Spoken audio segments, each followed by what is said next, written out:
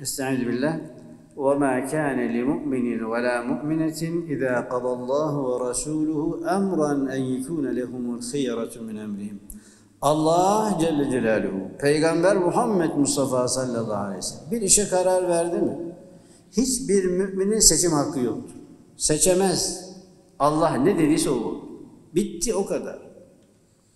Peygamber Muhammed Mustafa sallallahu aleyhi ve sellem ne dediyse o kadar. Bitti. Bir düşüneyim taşınayım yok öyle bir hakkın yok ki. Kul olarak böyle bir hakkın yoktur. Kulluğunu kabul etmezsen hak olarak kullanırsın gittiğin yerde hesabını verirsin. Şimdi Allah Celle ve Ala Hazretleri açıyorum burasını örnek vererek açıyorum burasını. Allah Celle Celaluhu buyuruyor ki kulum sen Müslüman mısın? Beş vakit namazını kılmak mecburiyetindesin diyor. Farz o demek değil mi? Ramazan orucunu tutmak mecburiyetindesin diyor. Farz o demektir. Zekatını vermek mecburiyetindesin diyor. Hürriyet veriyor mu? Vermiyor. Mecbursun diyor. Madem mecburum artık burada hürriyetim yok demektir.